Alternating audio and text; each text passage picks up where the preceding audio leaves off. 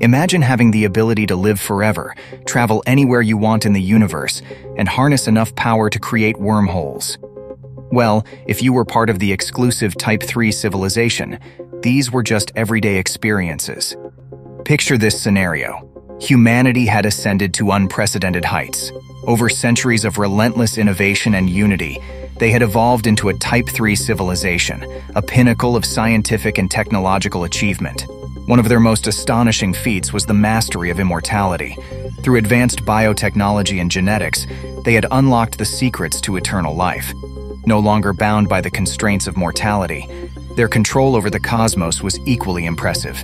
Immense Dyson spheres encircled multiple stars, capturing their energy to power their society. With this energy, they created wormholes, seamlessly bending space and time to explore the universe at will. Every day brought new horizons to explore. Humanity ventured to planets brimming with life, encountered civilizations with wholly unique paths of evolution, and exchanged knowledge that transcended species boundaries. Even with all their greatness, they stayed true to their values. They cared for others, worked together, and treated all life with respect. They used their immense power to help civilizations that were not as advanced as they were. All of this sounds like science fiction. I mean, how can regular Earth people like us hope to gain such incredible power? Should we even try? What would our lives be like if we became a Type 3 civilization? Would all this advanced tech be good or bad for us? And if we dare to dream even bigger, what would it take for us to become a Type 4 civilization? Well, let's find out. On the Kardashev scale, which measures how advanced a civilization is in using energy, we're currently at Type 0. To reach Type 1, we'd need to make full use of all the energy sources on Earth, like sunlight. Physicist Michio Kaku believes we might achieve this in a century or two. Getting to Type 2, where we harness the energy of our sun, is a much longer journey, possibly taking a few thousand years. To reach Type 3, where a civilization uses the energy of an entire galaxy, it could take anywhere from 100,000 to 1 million years. So, if we could fast forward 1 million years, what might life look like? With nearly limitless energy at our disposal from any planet or star we see, we could live anywhere we like. We could even create new planets or solar systems. Earth and other planets in our solar system might be depleted of resources, as we'd use them to build energy collecting satellites called Dyson swarms. These swarms would gather energy from stars, essentially turning them into giant batteries. But to truly become a Type 3 civilization, we'd need vast numbers of Dyson swarms, collecting energy from all the stars in our galaxy. By then, we'd have advanced biotechnology, and many of us might be cyborgs, seamlessly blending human and machine. Our technological evolution could lead to remarkable achievements, like controlling artificial limbs with our thoughts, or even merging with AI. This transformation might be necessary for warp speed travel, making our bodies more resilient. As a Type 3 civilization with abundant resources, we'd have the power to tap into Planck energy, the energy of space-time itself. At this level of physics, things would be very different from what we know now. According to special relativity, traveling faster than light locally is impossible. However, general relativity offers potential ways to achieve faster than light travel. One possibility involves using wormholes or multiply connected Riemann surfaces. To create a wormhole, one approach is to assemble a spinning ring with stellar amounts of energy, preventing it from collapsing. Traveling through such a wormhole could take you to a distant part of the universe. Another method is to extract a wormhole from the quantum foam, the fabric of space and time at a very tiny scale. However, wormholes come with several challenges. Some versions require massive amounts of positive energy, like a black hole, and have event horizons, making them one-way trips.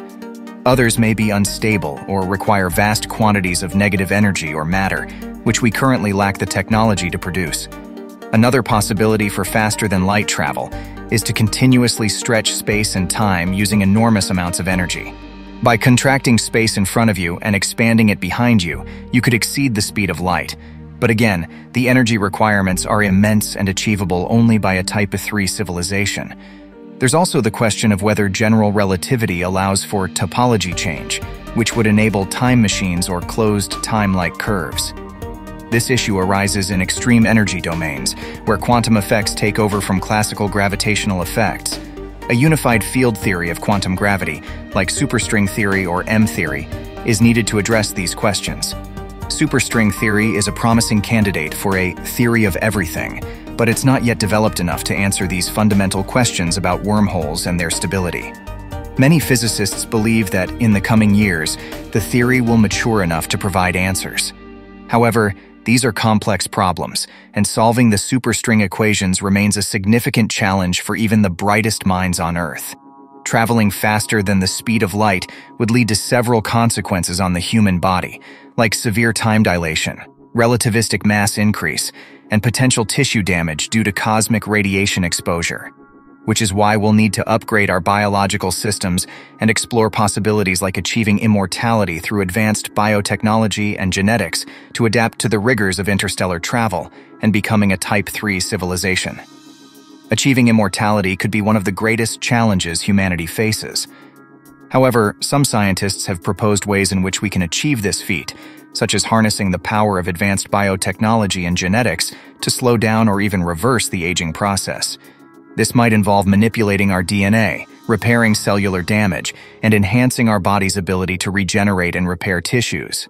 Another possibility is cryonics, a process where individuals are preserved at extremely low temperatures after death in the hope that future technologies can revive them and cure the ailments that led to their demise.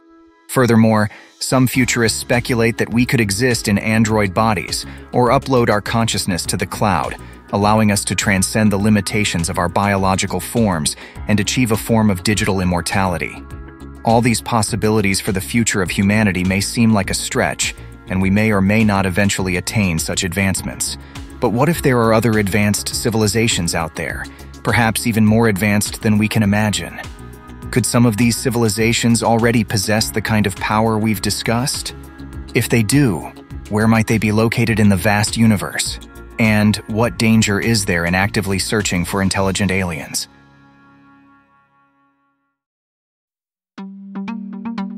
One of the biggest questions we have is where exactly do we even fit in this universe? After about 13.8 billion years of cosmic evolution, 4.5 billion years since the formation of Earth, and at least 4 billion years since life first arose on our planet, human beings have done it. We have become an intelligent, thinking, and technologically advanced civilization here on Earth. We can now receive signals from far off places in the universe, figure out where they come from, to an extent, and learn more about them. We've even begun exploring outer space beyond the confines of our own planetary home. While we've been searching for signs of other intelligent life for over 50 years, a quest known as the Search for Extraterrestrial Intelligence, SETI, we haven't found solid evidence yet. At the same time, some people suggest that we should actively announce our presence to the cosmos, hoping to attract the attention of other advanced civilizations out there. However, not everyone agrees with this idea, as it might have risks. So, what should we think about all of this? And more importantly, what actions should we take? We have both hopes and concerns about making contact with aliens. While we can't predict the exact details, there are four main ways this first encounter could happen. It's either we find indirect signs of life on an exoplanet or exomoon around a foreign star. Through either direct imaging or transit spectroscopy, we'll identify the signatures of a living planet and conclude that the most likely explanation is that it's inhabited. Or we receive and decode a techno-signature from an advanced extraterrestrial civilization, whether it arrives in the radio band, another electromagnetic frequency, or via some signal we've yet to decode, from energetic neutrinos. Or maybe we'll receive a direct visitation from aliens. This is the hope of those investigating unidentified flying objects. That somewhere, lying in the gaps of what's been identified and what's been seen, but not at sufficient resolution to uncover, a spacecraft of intelligent alien origin is waiting to be found. Or perhaps there are aliens out there, waiting to be contacted, but that haven't actively been broadcasting. They're awaiting their first message from an alien civilization, and so it's up to us to send it, so that they can receive it. The aspiration here is that there's a possibility of another intelligent civilization within the Milky Way galaxy. They may be like us, or way more advanced than us, and they've already started exploring their local region, driven by curiosity to discover what lies beyond. As far as what's known, we've come much farther than most of us could have imagined even a few decades ago. At the start of the 1990s, we only had speculative evidence that planets beyond our own solar system existed. We didn't know how common Earth-sized worlds around sun-like stars were. We didn't know what types of planets were common or rare in the universe. We didn't know whether our solar system was typical, uncommon, or a cosmic rarity. Our own galaxy has somewhere around 400 billion stars, and we're just one of about 2 trillion galaxies within the observable universe. Of the stars within our galaxy, 80 to 100% of them have planets and planetary systems around them.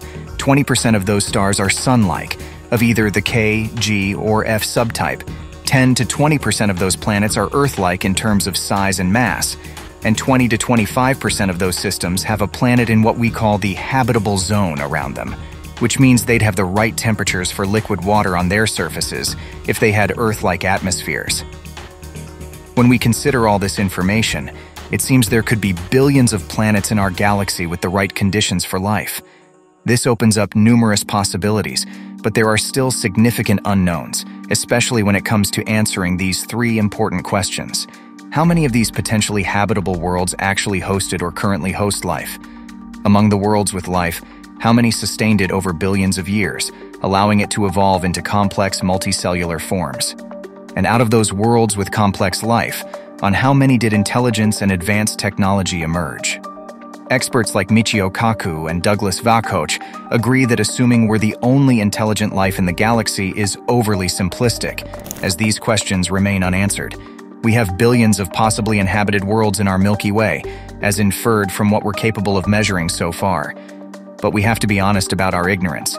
If the answer to all three of these questions is something like 1%, then intelligent life has arisen within our galaxy thousands of times in the past. If the answer to all three of these questions is more like 0.01% or less, then we might be the first to make it this far in the entire galaxy. In simple terms, we currently lack enough information about the universe to provide a definite answer. But if any of these three steps, the emergence of life, its long-term survival, or the development of intelligence, are very unlikely, it's possible that humanity is the only intelligent life out there. Now let's consider a scenario where there are other intelligent civilizations out there. Should we try to communicate with them? According to Michio Kaku, the answer is no, and here's a simplified version of his argument. Reaching out and letting them know we exist could be a disastrous idea. It might be the biggest mistake in human history to intentionally make contact with beings we know nothing about. Such an encounter could potentially lead to the collapse of our civilization. It's not wise to assume that aliens are peaceful and willing to share their technology. Now let's consider a scenario where aliens have bad intentions, seeking conquest and riches. But here's the issue with this argument. If an alien civilization has the capability to travel between stars, they would have mastered advanced technology. In that case, there's no resource on Earth that would be of great value to them because everything we have here can be found or created elsewhere. In essence, we'd have to assume that an advanced extraterrestrial civilization would only be interested in us because we announced our presence, and they would take hostile actions against us without any clear reason, much like how a child might harm ants for amusement. On the contrary, other scientists have presented different perspective, suggesting that staying hidden, like cosmic lurkers, might be the only certain method to keep ourselves isolated on our planet, instead of engaging in any potential cross-civilization interactions. Some might ask, why reach out if they're already aware of our existence? We're essentially testing what's known as the zoo hypothesis. Some other scientists are not convinced by this argument either. If an alien civilization has been observing Earth, they would have noticed significant changes in the past few centuries. Our rapid alterations to the atmosphere, increased CO2 levels, the presence of human-made chemicals, artificial lighting on the night side, and our radio signals all signal the existence of an intelligent and technologically advancing species. Of course, this is a wholly speculative thought exercise, driven largely by our own imaginations and our knowledge solely of past events that have occurred here on Earth. Yet, regardless of whether intelligent aliens exist, regardless of their malevolent or benevolent intents, one fact remains undeniable. For all the problems we have on planet Earth, some self-created, some from external pressures, there is no evidence that anyone else is coming to save us. No one is coming to solve our energy problems, our resource management problems, our unsustainable treatment of the environment, or problems like war, hunger, nutrient deficiencies, or water insecurity. No one is going to help us value the lives of one another, or even our own lives. If we hope to be saved from the problems facing us today, we have to look inward, to ourselves, and outward, not to the stars, but to one another. In all the world, the greatest resource we have is the cumulative knowledge we've gleaned and the ability to work together. The ingredients are there, but it's up to us to put them together and use them for the good of all. If we want to change the trajectory of our species, seeking knowledge and searching for the true answers to our deepest questions is certainly an essential part of the solution. But we mustn't rely on either hopes or fears when it comes to the unknown. Instead, we have to rely on the greatest resource of all, a recognition of our shared humanity.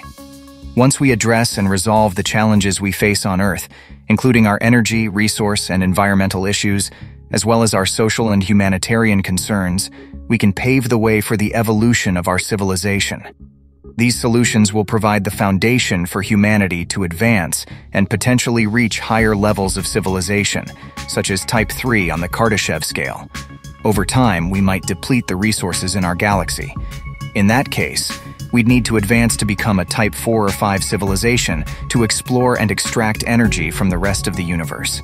As a Type 5 civilization, we'd have no limitations on resources, and our focus might primarily be on our own technological progress, possibly neglecting the broader universe. For a Type 6 and 7 civilization, you'll have to watch this video on your screen to find out. Thanks for watching and subscribe for more videos.